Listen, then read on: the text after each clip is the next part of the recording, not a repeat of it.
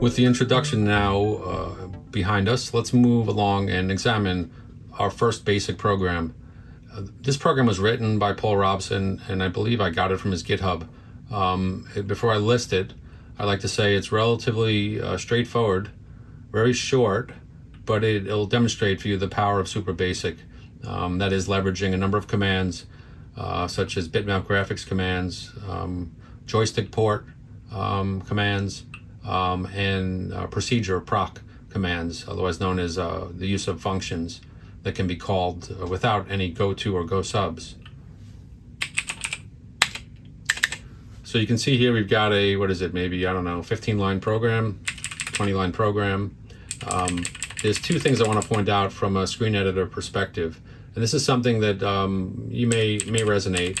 Um, to start with, the line numbers, which are mm, intentionally numbered kind of beginning with a single digit number down to double digit numbers, ultimately um, three digit numbers, um, is indented in what you might consider pretty print um, formatting fashion, um, such that all of the left edge of the commands align.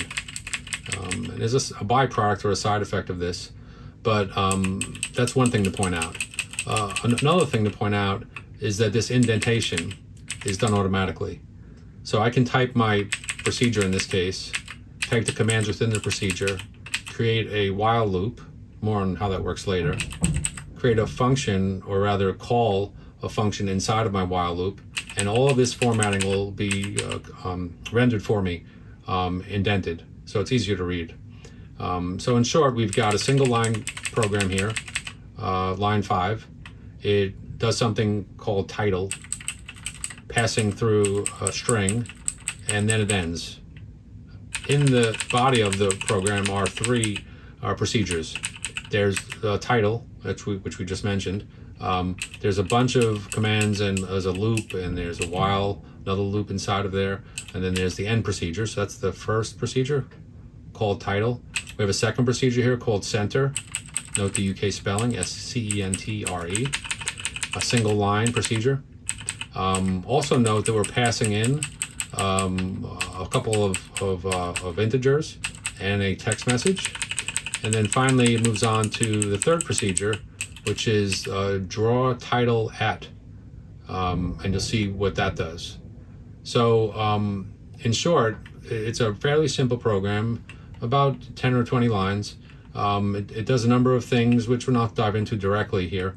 But um, I just wanted to at least show you the, the combination of, of um, kind of new and old here. Looping was certainly something that, that came along in some of the, uh, I'll say, better basics. Um, procedures was certainly something included in BBC Basic. Um, but otherwise, we're, we're doing uh, quite a bit of work here, and I'll press, uh, I'll type run, press play, I was going to say. I'll type run here in a moment, and, and you'll see what this does. The other thing I wanted to point out, by the way, from a line editor perspective, is the fact that this line here is a little peculiar, and it's peculiar because the text runs and wraps around to this next line. So folks that have been used to Commodore screen editors and maybe some other editors uh, have seen this before. And typically in a Commodore system, you'll see it when you do something like, um, uh, I'll say 200 print hello or hello. And when you press enter, and then when you list, you'll find that it rendered the line like this. And what that does is it tends to push the text to the right um, as it's expanded. And of course, the Commodore um, Basic included a bunch of shortcuts where you could say, I believe, um, let's see if I get this right, um, P capital R, which uh, if the character set was swapped, you would see a capital P and then a graphic character, which will also expand to the word print. Um, uh, G, G capital O, which would expand to go sub. Um, and because the Commodore included uh, a, a, line which could be um, two screen lines wide or 80 characters in total, when you listed any of these abbreviated commands, inevitably you would get the same phenomenon occurring, which is um, a line of basic wrapped around. So that that's fine. It's just something to be aware of. Um, unfortunately, uh, Super Basic also will work in the same way as Commodore Basic, which is if you try to edit this line, it'll suddenly have a problem. So the example here is if I make a change to 170 and I change this variable to NAM just for, for fun, NAE, even more fun.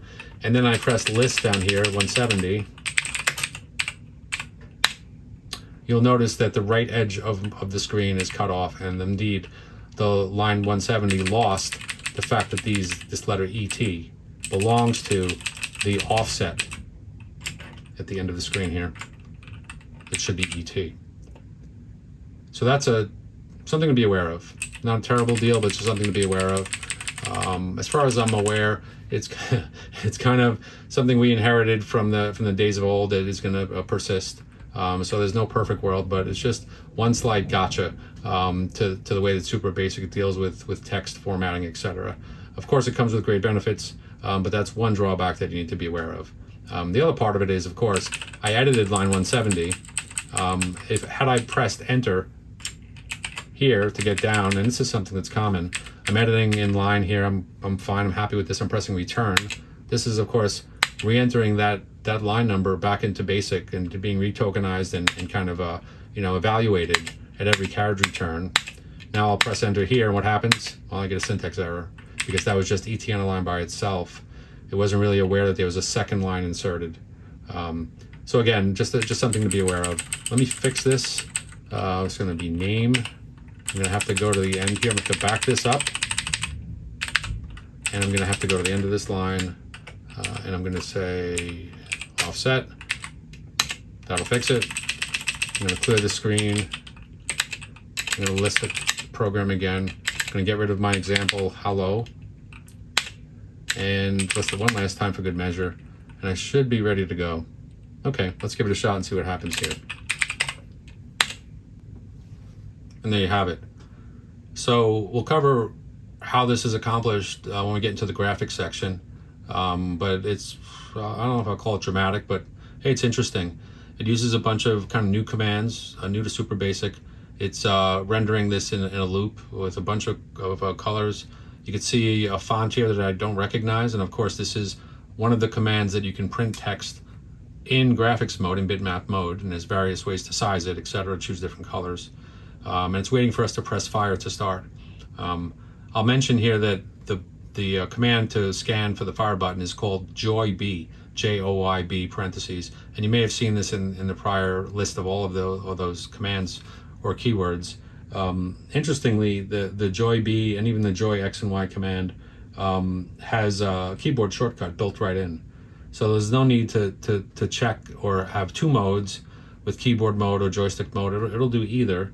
And I believe L will be the fire button. So I'll press L there you go, and it ended the program. Um, of, course, of course, it also put L into the keyboard buffer, and that's what you see at the top here. So I'll list this again, and uh, that's uh, anything else to point out here? No, there you have it. But let me just show you at least the last part of the program. While joy b zero is not equal to zero. While end, that's the w end command. So hopefully this brief program gives you a taste of the power of Super Basic and an exploration into some of the graphics commands, uh, the way that the line editor works, um, some of the benefits of it, um, something to think about. and I won't call it a drawback, but it's kind of a, a you know um, artifact of, of history. So we'll uh, we'll discuss these topics and more in the next video. Uh, hope this has conveyed some of the uh, benefits of Super Basic to you.